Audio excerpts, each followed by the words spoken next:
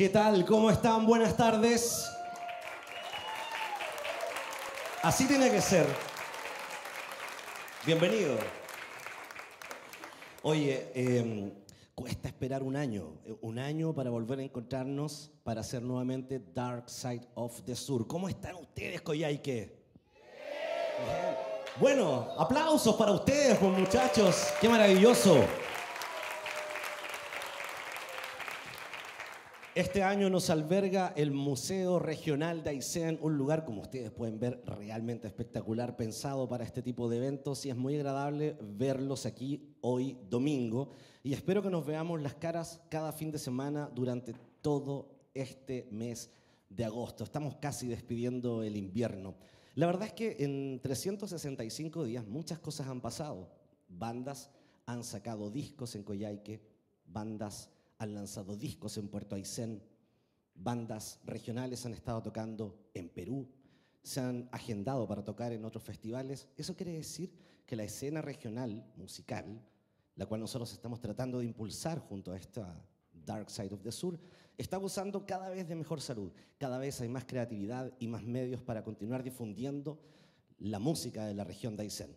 Así que el primer aplauso es para nuestros músicos regionales.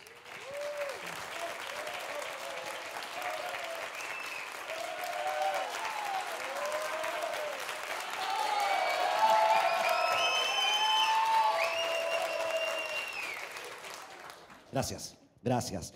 Quiero partir saludando a nuestra queridísima Margarita Osa, por supuesto, Seremi de las Culturas, las Artes y el Patrimonio, que está con nosotros en esta tarde. También a nuestro querido Gustavo Saldivia, director del hermoso Museo Regional de Aysén.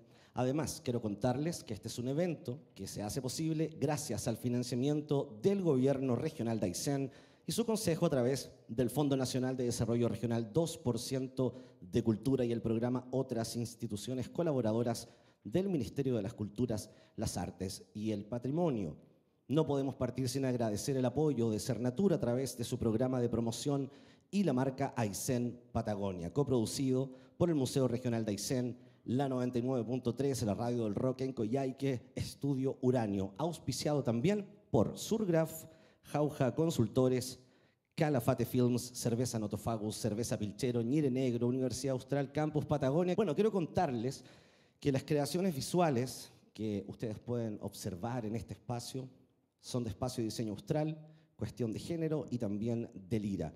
Colabora en el sonido HG, también Boca Seca, medios asociados, Santa María Televisión, la revista Patagonia Datos, Iguana Rock, revista Patagonia Rock y Canal del Sur.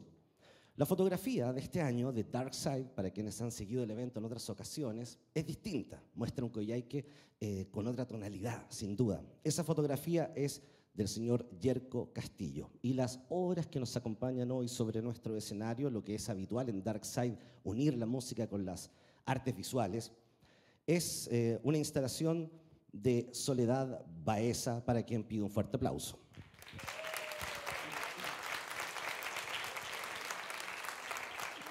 Evento producido por mis queridísimos amigos de Malotún Ortiga, que están hace ya muchos años dando muchísimo que hablar en la región de Aysén y también Nube Negra. Síganos en Twitter, en Facebook e Instagram como Malotún Ortiga y también en malotún.cl. Como bien decía eh, eh, nuestro director, es, todo un desafío porque imagínate, ponte un poco en el lugar de las bandas. Cuando las bandas tocan en un bar, eh, toda la gente está como media ya convulsionada, tocan por lo general tarde, una de la mañana, esa hora yo ya estoy durmiendo, quizás ustedes también, pero los que van saben que es así. Entonces todo esto tiene un ambiente, un ambiente que es muy distinto al ambiente que tenemos esta tarde, que es un ambiente netamente familiar, donde podemos tener una cercanía con los músicos. Dark Side no es una tocata, es una experiencia. Y ustedes eh, van a ser privilegiados de estar en esta primera edición 2018 de este hermoso evento que esperamos se continúe perpetuando en el paso de los años. Es un ejercicio mm, complejo, sin duda, eh, quitarle la distorsión a las canciones y bajarla a un formato mucho más íntimo, muchas veces con nuevos arreglos, músicos invitados, lo que hace sin duda que los músicos deban tener un proceso de ensayo bastante largo y extenso. Nuestros primeros invitados de esta temporada 2018 es una banda que en realidad está unida por la música, lógicamente, pero también por la amistad. 11 años llevan tocando, son compañeros desde el liceo y siempre han estado tocando y um, redescubriéndose mutuamente y avanzando también con el paso de los años. Hoy vamos a conocer su historia. En septiembre del año pasado lanzaron su disco debut que se llama De Bar en Bar. Es un disco que los catapulta a través del sonido del hard rock y del rock and roll. Un sonido que ellos han denominado simplemente rock and roll patagónico. Señoras y señores, bienvenidos a Dark Side of the Sur. Con ustedes, Rock al Sur.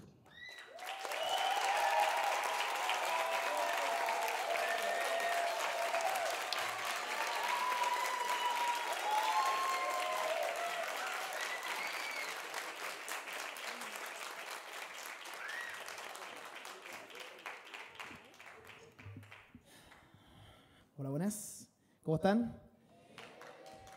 Qué alegría, me voy a tomar un rato para verlos a, cada uno de ustedes, para agradecerles también por haber venido. Y bueno, ¿qué más queda agregar? Estamos acá para tocar y a eso vinieron chicos y esto se llama Quemando Llantas.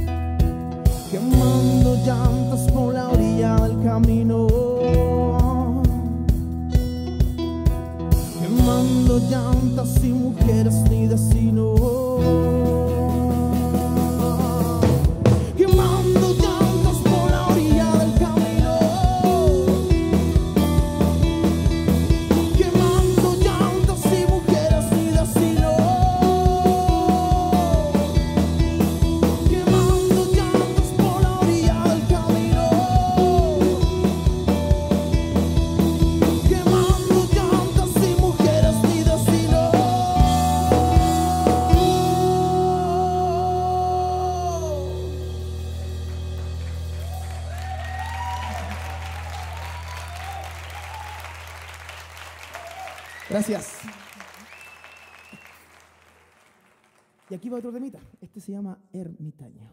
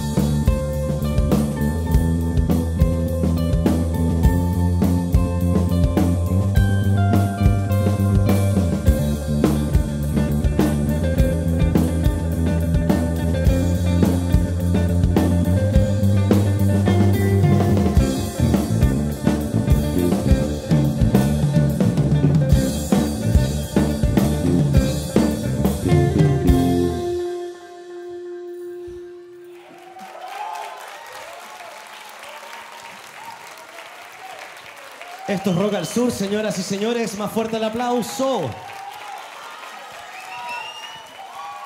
Ok, bueno, eh, Pancho, eh, tantos años tocando juntos, eh, ¿cómo han logrado compatibilizarse con, con el crecimiento, el desarrollo, pero a su vez la amistad les ha servido como un potenciador para la creación? Bueno, ha sido un pilar fundamental, por supuesto, la amistad y todo, todo esto que hemos logrado en torno a la música durante todos estos años. Eh, bueno, el, el esfuerzo que cada uno coloca para que se puedan ir eh, haciendo creaciones nuevas, eh, es como, bueno, en realidad son, son muchas cosas las que se mezclan en este, en, en todo este proceso. pero- Termi- Termina siendo como una familia finalmente. Exactamente. Claro. Y eh, César, por allá, eh, ustedes partieron hace ya muchos años, los conocimos cuando eran bien chiquititos que tocaban en calibre 69. Esa era la primera banda que tuvieron, ¿no? Así es. Ay, tienen fanáticos todavía que lo recuerdan. Aguante, doble cara. Aquellos que fueron al Chonek en algún momento a, a ver a la banda, sin duda. En aquel entonces había también una precariedad de, de instrumentos, de amplificador. ¿Cómo era la creación versus la, la precariedad muchas veces que se vivía en aquellos años? Uf, eh, tocaste dos temas eh, que claramente fueron eh, marcaron nuestra realidad. El hecho de la implementación, si bien en aquellos, en aquellos tiempos, bueno, todavía ahora, no, no están los medios como para adquirir los tremendos equipos que todos soñamos, pero sí, partimos con lo que queríamos, amplificadores de 15 watts, Eso, el lustrino. cajita lustrabota. Claro.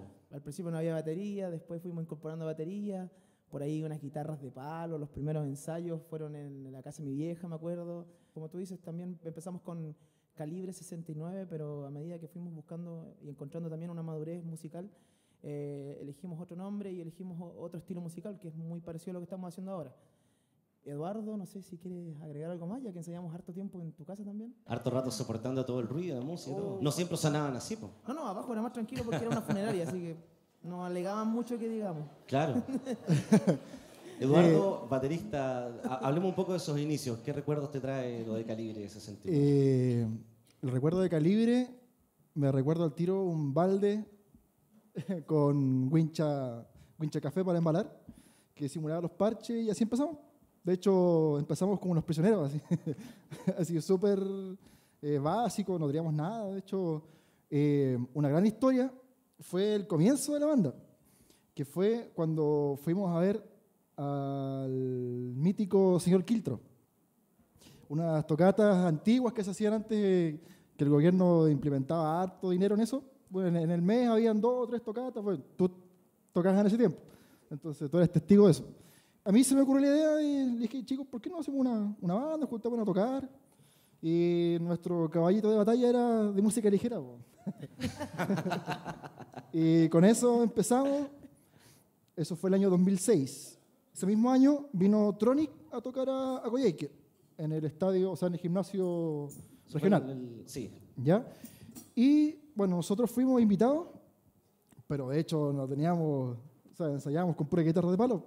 Entonces, al momento de, de subirnos al escenario, eh, fue muy bonito porque, bueno, de partida yo estaba asustado porque era tremendo escenario. Habían, ¿cuántos? ¿3.000 personas? Más o menos, ¿3.000, 4.000 personas. Estaba lleno el gimnasio. Y yo lo único que veía era humo. Y de repente veo pasar a, a Suazo adelante así, así como, como un ente. y dije, ah, sí. entre la no estoy, no estoy en el cielo, estamos tocando en vivo. Y Francisco Suazo toca un punteo de una canción y se escucha todo el público gritar. Así, pero yo lo escuché que estaba al fondo. Y no, ahí fue como, wow, así como muy heavy la sensación y, y rico en el fondo. Y ahí empezó todo, desde ese momento. ¿Y en qué momento deciden cambiar el estilo y llamarse Rock al Sur? ¿En qué momento pasa eso? Tuvimos que hacer una nueva conformación de la banda, ya que había salido Enrique Sepúlveda, que era el bajista anterior, que fue como el 2000... 2015. Sí, 2015, Así que elegimos ser un power trio y buscar un sonido acorde a lo que a, las personas que habían, porque ya no eran dos guitarras y un bajo, ya no podíamos hacer lo mismo. Por ahí fuimos metiéndonos de a poquito y encontrando hartas referencias de power trio a nivel nacional y a nivel internacional y quisimos emular eso.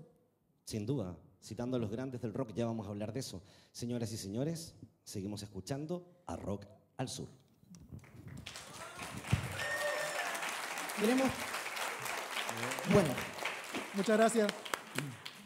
Queremos hacer eh, eh, invitación a pasar al escenario también a nuestro colaborador, amigo. Él es Iván. Él es Un fuerte aplauso. el encargado de la guitarra y armónica de hoy día.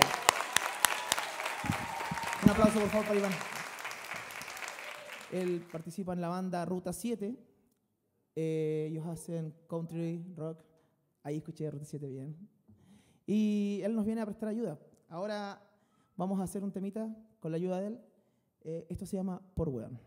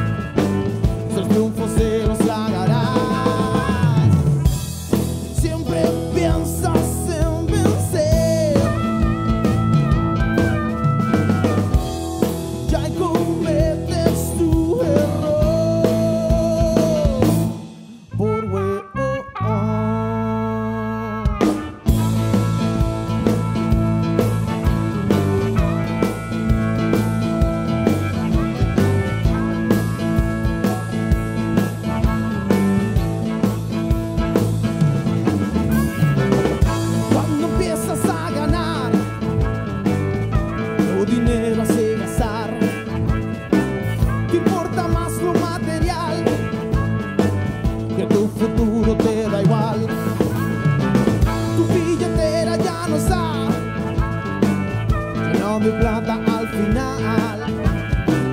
Quizá cosa de trabajar, si te vas a calidad.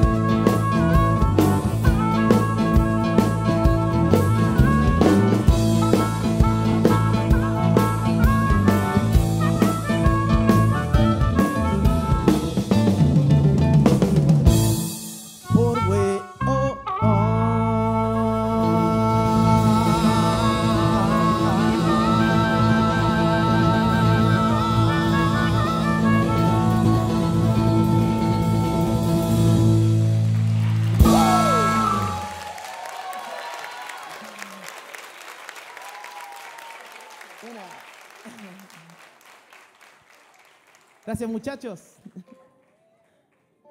Es entretenido hacer esto, eh, eh, sea, meterse un poquito en, otras cosas. eh, el formato acústico, por ejemplo, no es lo nuestro. El, el- tocar con un, cuarto integrante, ya tres años ya que no teníamos un cuarto integrante, así que eh, fue algo nuevo, lindo para nosotros y, y vamos a seguir. Bueno, es importante, ¿Ah? es importante destacar que siempre hemos tenido un fiato especial entre los tres.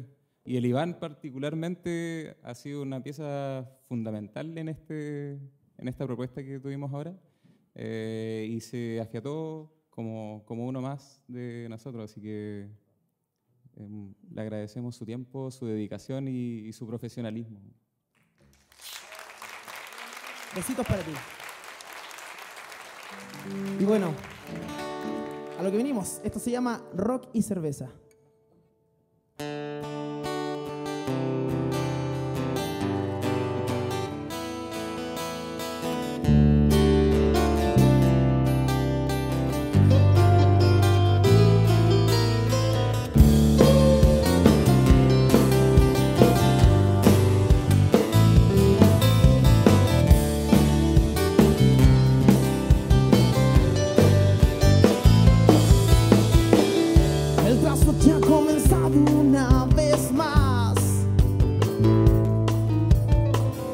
Como siempre la cerveza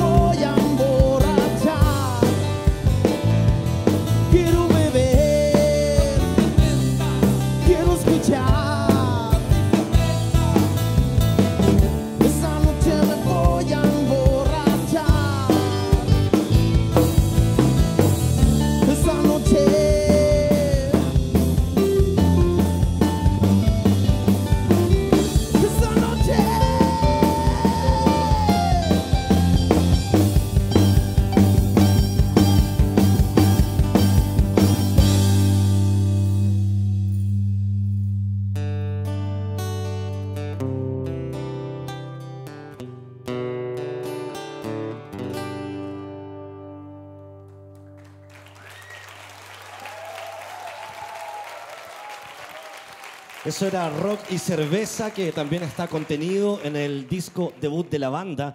Y hablando un poco de, música eh, y, y de lo que está pasando en la escena local, sabemos de que hay muy buenas bandas, ustedes forman parte ya del circuito de bandas locales, pero si tuvieran que elegir una banda regional que les guste, que se consideren fans, fanáticos, o que digan, esta es mi banda favorita, ¿cuál sería? Regional. Haruki. Ya. Eh, para mí, eh, una banda iserina, Soul Black. Soul Black, Sí. progresivos. Sí. Aguante Están Soul Black. grabando material nuevo los muchachos de todo esto. Que les vaya muy bien. Pancho. Eh, me gusta todo lo que es la fusión musical. Podría decir, bueno, que son como varias, pero podría decir Mahindra. Mira, sí. Sacaron un muy buen disco también. Iván. Eh, creo que está dividido entre el folclore y el blues. Siempre voy a recordar los perros bluseros. ¿Verdad? Gran claro. banda. Aplauso para los perros bluseros. Y por supuesto, un folclore regional, un gran amigo, estimado don Carlos Bello Durán, el Maleo. Es lindo ver cómo las nuevas generaciones también entregan ese respeto hacia los músicos más históricos como, como el Maleo. Hemos escuchado también que otros músicos admiran mucho a Trapananda. Y es bonita esa dinámica también de, de admirar lo que está pasando en la región de Aysén. Hablando un poco de eso, ¿cómo están los escenarios en Coyhaique? La posibilidad de tocar hoy día. Bueno, eh, como todos ya saben, cuando cerró el Ríos Libres eh, se cerró una gran puerta, eh, ya que ellos permitían realizar tocatas cuando tú quisieras. Decías, ¿sabes que quiero tocar tal día? Un jueves, viernes, miércoles, el día que sea. Te decían, vamos, dale, no hay problema, nos organizamos, lo hacemos. Cuesta ahora un poquito encontrar eso, eh, ya que nos, nos- nos tenemos que siempre remitir a escenarios eh, bares. Es lo único que hay por ahora. Yo creo que ahora recién como que se está abriendo un poco más eh, el- no sé, el- la mente de las personas a, a recepcionar otro tipo de música, porque estamos claros que la región siempre se ha caracterizado por, por estar más, más relacionada con el folclore principalmente, con los estilos musicales que se conocen y, y están como más arraigados dentro de, de la cultura de las personas, de nosotros, de los patagónicos. Claro. Pero yo creo que es algo que se va a ir dando en forma paulatina. Cada vez más se van, se van a ir abriendo más espacios para tocar. Y, y bueno, ojalá que no solamente sean en espacios como, como los pubs, como los bares, sino que también eh, se abran más espacios como estos, lugares abiertos y, y bueno, sujeto a las inclemencias del clima, por supuesto, pero, pero que se abran muchos más espacios. Cuando ustedes eran una banda relativamente joven, tocaban covers, ya decía Eduardo, hacían temas de panda, qué sé yo, que siempre las bandas parten tocando covers. No hay que avergonzarse de eso. Pero eh, en el momento en que ustedes comienzan y dicen, ya, ok, podemos hacer un par de covers para rendir una, no sé, un tributo, un homenaje a nuestra influencia, pero eh, deciden comenzar con sus propias canciones. ¿Eso fue precisamente en el 2015 o fue antes? Creo que fue un poco antes. Kike alcanzó a participar de algunas canciones antes de que saliera el 2015, así que yo creo que fue como el 2013, 14 que ya ¿Y- ¿Y, cuál fue la primera que hicieron? A ver si te acordáis. Sin ti, sí, Sin ti Sin fue el primer tema que hicimos como banda en ese tiempo. No la van a tocar hoy día. No, no la vamos a tocar hoy día, no la van a escuchar nunca jamás. De hecho, no la tocamos nunca más. No, le- la tocó solamente en la casa para la persona que fue dedicada. Ah, muy bien. Seguimos disfrutando a Rock al Sur en The Dark Side of the Sur.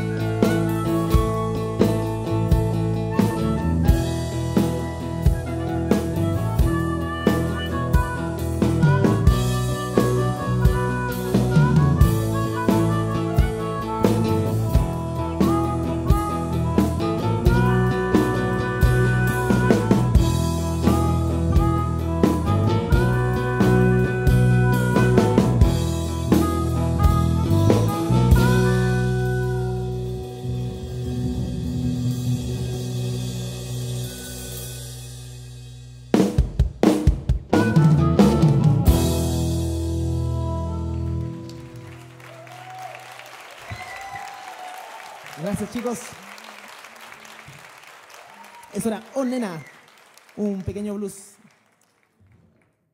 El siguiente tema se llama Mal Necesario. Vamos con las palmitas.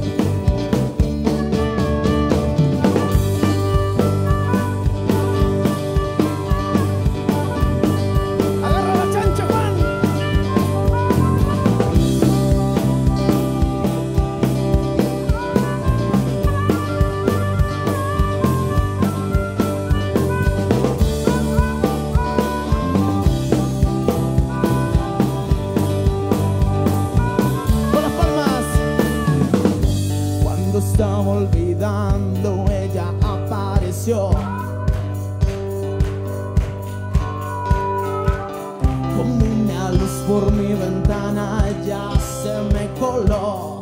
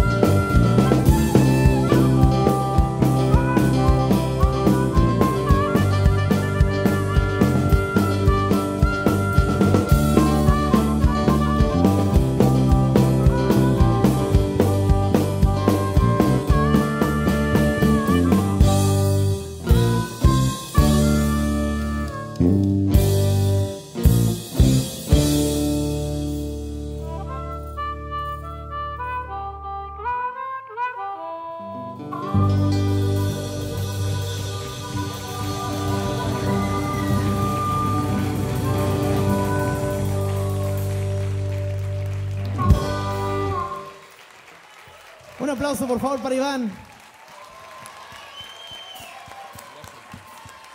Muchas gracias. Vino a poner todo lo que es el campo a esta banda. Ya, muchachos. Y este temita eh, no es del álbum, no es del futuro álbum, es de la generación pasada de, de la banda. Lo quisimos eh, traer nuevamente ya que es una balada y se acoplaba muy bien al, al- al espectáculo de ahora. Con mucho cariño y mucho amor, esta canción eh, va dedicada a, un animalito muy lindo que ha servido mucho tiempo acá eh, en la región. Se llama ovejero. Y dice así.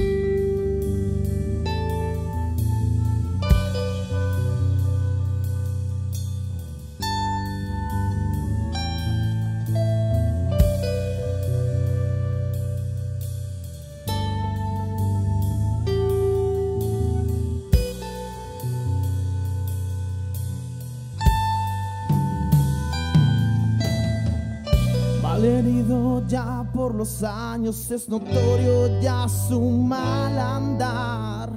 Ahora quien cuida su amor, se escapa su vida con cada luna pasar. Hoy soñé con días de verano por las pampas corriendo sin descansar. Mi perro amigo y fiel acompañante me perseguía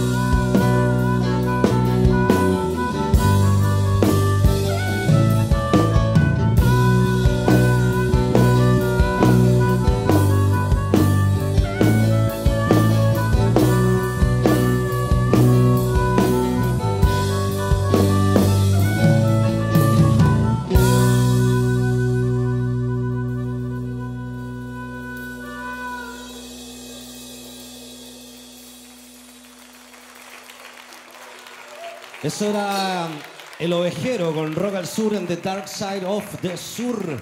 Primera fecha de todo este mes de agosto. Vamos a estar, acompáñennos, sin duda.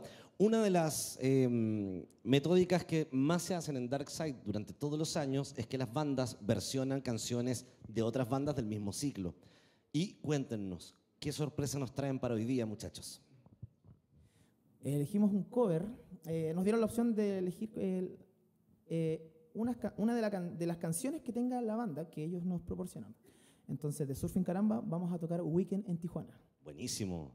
Un súper clásico de esta banda que nos va a acompañar aquí en Dark Side of the Sur en un par de semanas más, Psycho Billy a la vena. Weekend en Tijuana, la versión de Rock al Sur en Dark Side.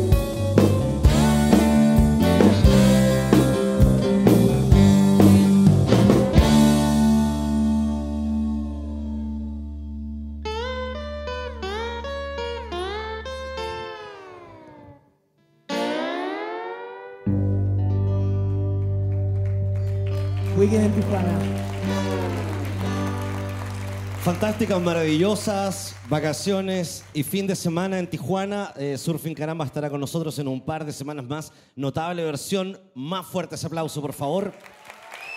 Gracias. Yep, yep.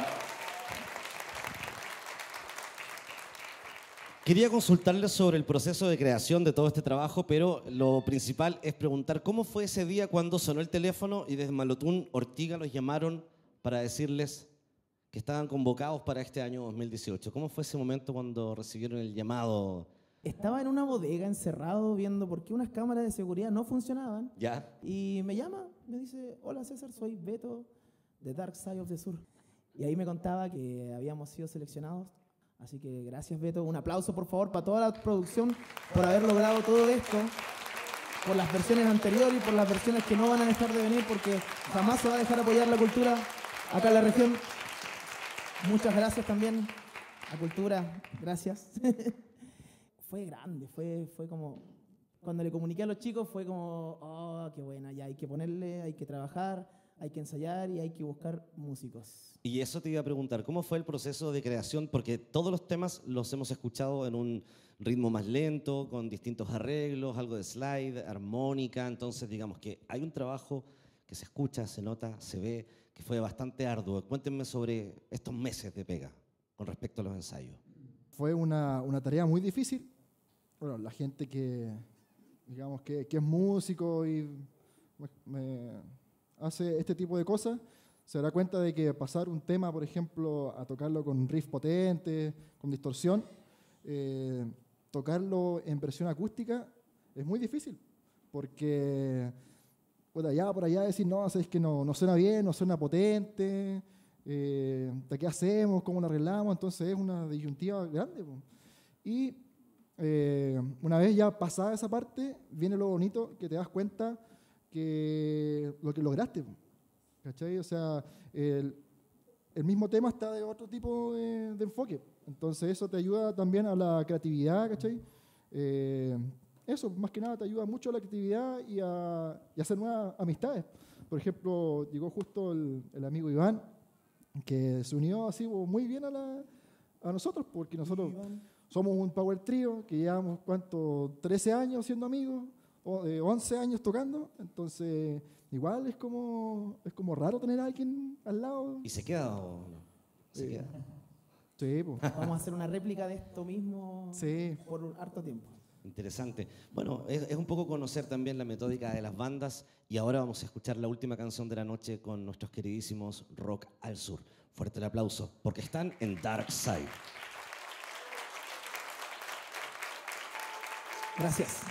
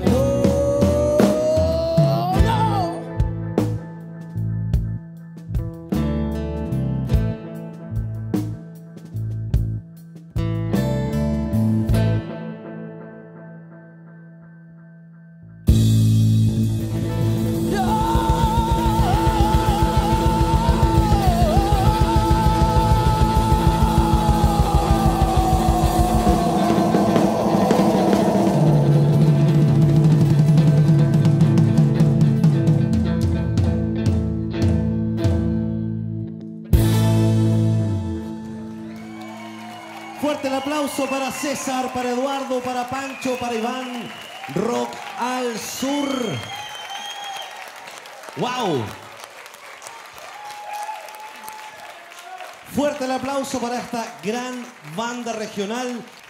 Queremos invitar a nuestra artista visual Soledad Baeza para que reciba un reconocimiento de nuestra gente de Malotún Ortiga por su trabajo, un regalo. Y también hay regalos para ustedes, muchachos. Fuerte el aplauso. Rock al Sur la rompió. Primera noche de Dark Side. Nos escuchamos la próxima semana y nos vemos aquí la próxima semana con La Quema. Buenas noches. Gracias.